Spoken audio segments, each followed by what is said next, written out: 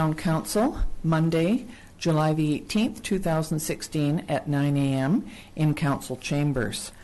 So we do not have any introduction of late items. Thank you. Then could we have a, um, a motion, please, to accept the committee of the whole agenda? Thank you. That would be Rhodes Youngberg. All in favor? Thank you. Um, Delegations. Um, We're very pleased this morning to have uh, Stephanie Hall, who's the CEO of the Okanagan Regional Library, and I think she's here to give us our yearly update. So, welcome, Stephanie. Thank you, Your Worship, and members of council. I'm delighted to be here with you today, and I understand you have three meetings today, so I'll try to keep it brief. Four. Four. Four, yes. Well, why not throw in another one? Um, so I'll try to keep it brief. So we can move on. Okay.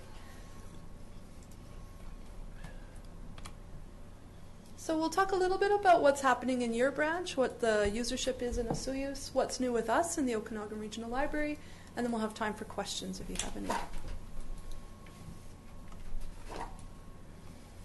So in 2015, you had about 3,400 users, about 65,000 physical items circulated, and I'm sorry I don't have numbers on your electronic item usage.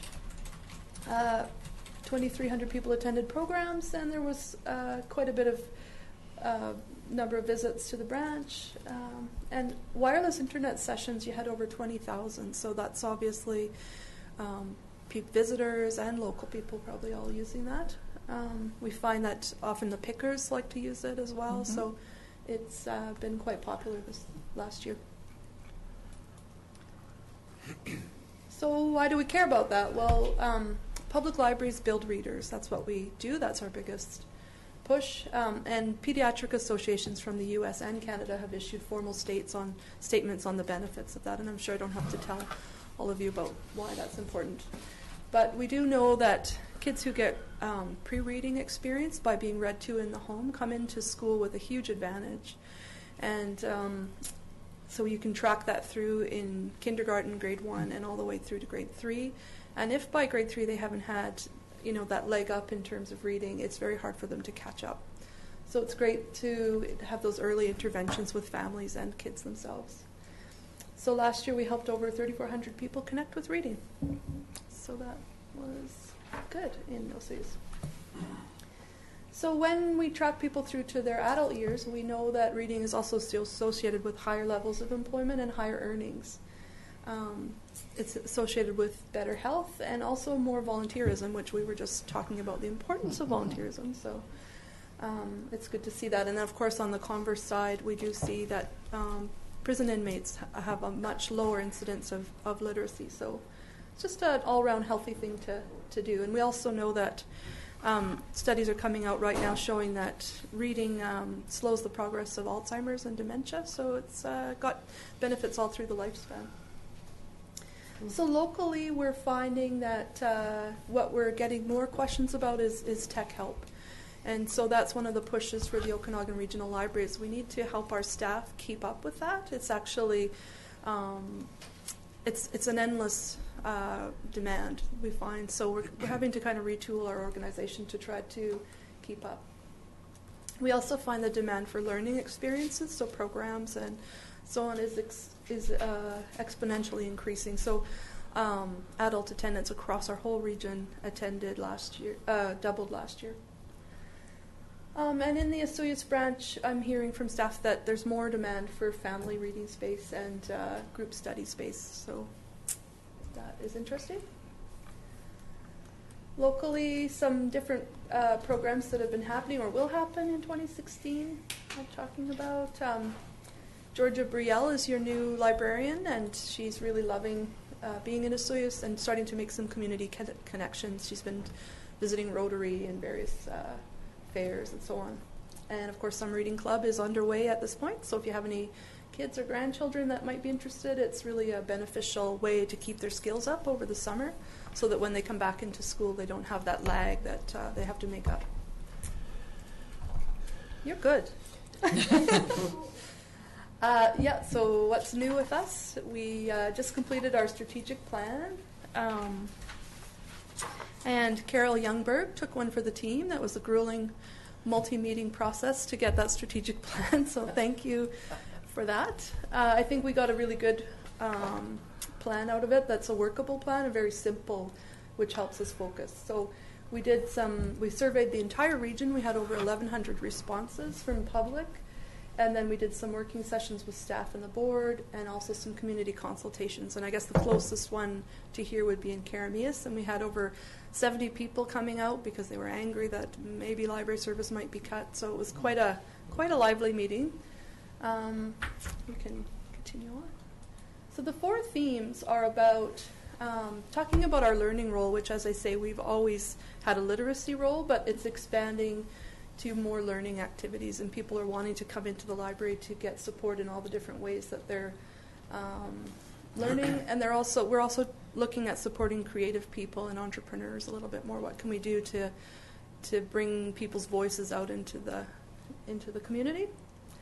Uh, we want to be more uh, connected to communities, so we want to understand your planning cycle and your priorities. Um, and so that's one of my to-dos this year is to get a sense of when all your planning happens and whether there's a part for the library to just be there when it's if it's OCP or whatever is happening. Can we get a little more connected so we know that we're really meeting your your, your agenda?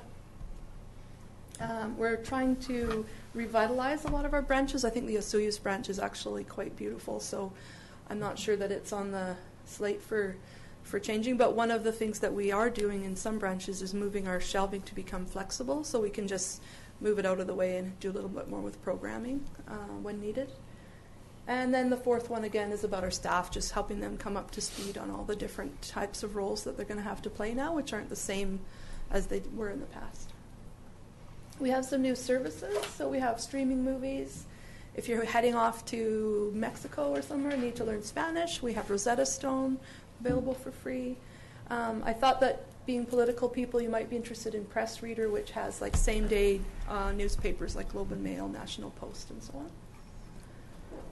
And then uh, lynda.com I thought might be interested might be of interest to your staff because it's a professional learning service where um, professionally produced videos will help you move along in a graduated way on a whole variety of topics. It might be photography, it might be how to learn MS Project. So it's a free uh, free item that for if your HR manager was here, I'd be trying to sell it to them. You know that that's it's a it's a great way to train staff for very little money.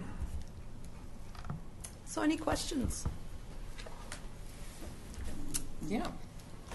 Go ahead. We'll all have take a turn. Carol? Okay. Thanks, Stephanie, for taking your time and coming down here to see us. Um, it's much pre- much appreciated since we hear from the head uh, head um, ruler of the ORL. Is good? um, what increase have you seen in our attendance um, over 2014?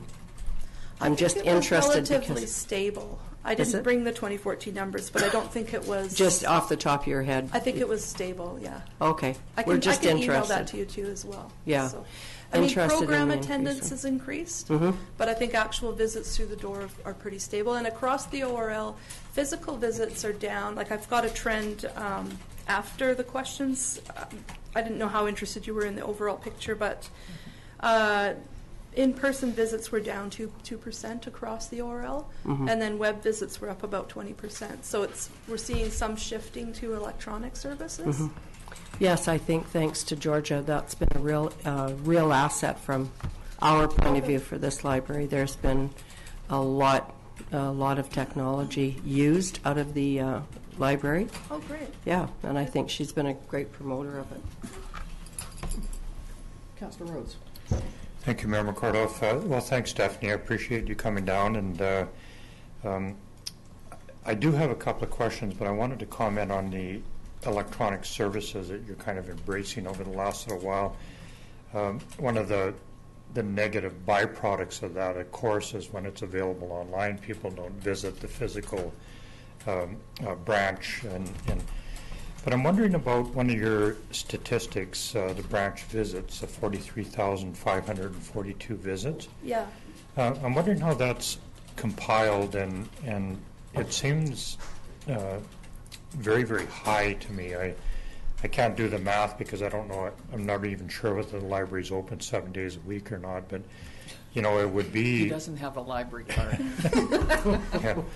Well, thank you, Mayor McCord. I'll point that out. I'll You've put that- said that I'll before. put that, I'll put that on my list of things to get even with in the future, so, yeah.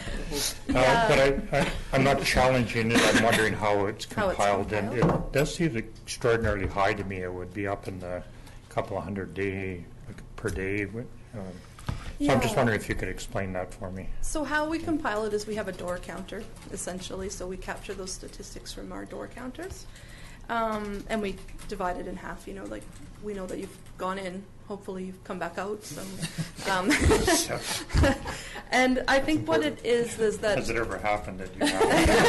well, yeah. in uh, in some libraries in Toronto, there was a a, li- a library where it was a science library, and staff would come into the staff mor- room in the morning, and they could smell bacon, and they would think, "Oh." and then there was a dozen eggs in the fridge, and somebody had found a, an unused storeroom and was had a Living great there. little Toronto apartment in the, in the library.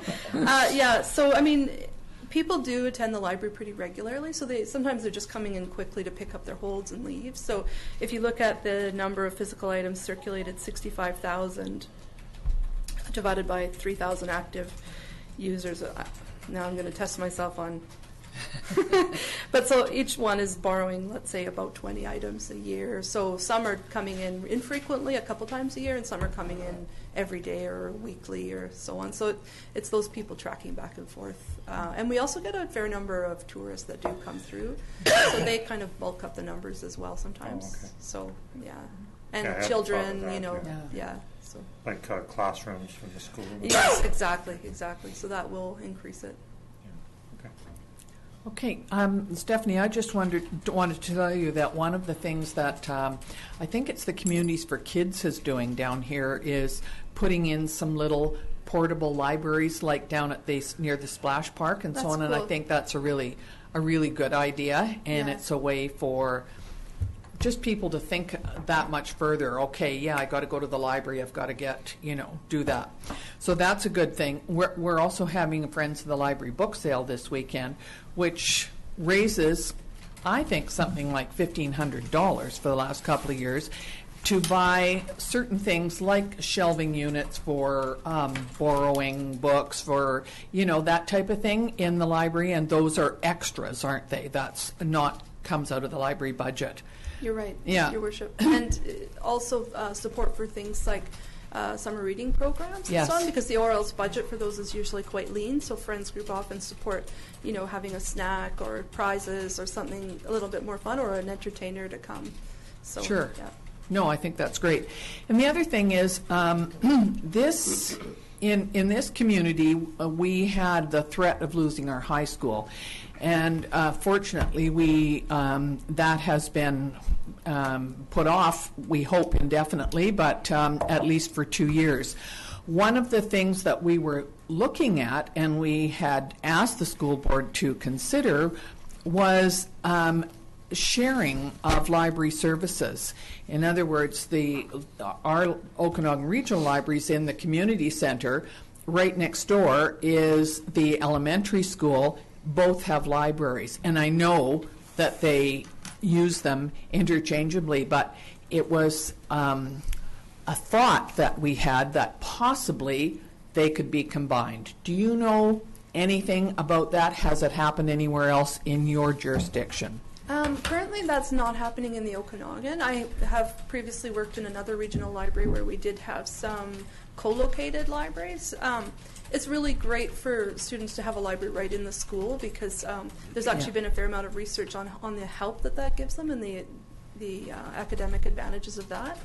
But of course, we'd always be open to talking to the school board if they had such an idea. You know, we're um, we try to be responsive to what the communities are needing. Um, sometimes you have a different mandate. I mean, I think Osoyoos is a smaller town, so it's not so um, so different. But you know, we serve all different types of people, and often in a school, you're trying to control it to some degree. Who Sure. can come in and um, and the location is important often. I mean, in our case, we're right next door to that school, so that's not a consideration. But sometimes schools will be off the beaten path, and the library likes to be on Main Street, kind of thing. Sure. So it, it can be done. It's uh, not. It's never just as simple as it seems, but it certainly has. I've worked in places where it has been done, and Good. Yeah. Okay. No, it's just th- something to think of for the future. Seems to me when you're trying to, um, it, it's quite costly to run both, and uh, it may be that in the future you might need to do some combining of services like that. Um, and, and I'm a trained librarian, school librarian, so I'm very much, I do have a library card. Got it. Well, thank you very much. Is there anyone else that, so thank you very I much, was Stephanie. going to speak. Oh, but I'm now- sorry. Well, no, now I'm concerned you're just going to let everybody know that I don't have one either. But, uh, no, I'm actually, I'm good. Um, I'll- Your Worship, uh, if I can just add one Sure. thing. The last time I visited you, we had done a review of the finances of the Okanagan Regional Library and compared every jurisdiction to see if it had more money coming Mhm. in than going out or vice versa. And in your case, the last time I visited you, you were slightly underserved. You were putting in a bit more money than you were getting out in services. And that has now um, evened out, and you're getting, a, I think it's just like 1% more than you're paying for. So I just thought that might be good to know. You we had an increase in rent, and it just kind of pushed us over the, the threshold there. So you're now uh, right spot on. You're probably the closest one in the region. So yeah. Well, and we appreciate, um, we appreciate having Carol take that uh, back to the, um, uh, to the Okanagan Regional Library and, um, and advocate on our behalf, and we definitely appreciate it. And um, we will try and get 100% participation from council at, uh, at library events. thank you. Thank you very much, Stephanie. So we will, um, this um, presentation be received for information, and um, there is nothing else on. Could we have a move to, uh, to um, adjourn the meeting, please? Thank you. Campbell Rhodes, all in favor? Thank you very much. So we'll just have a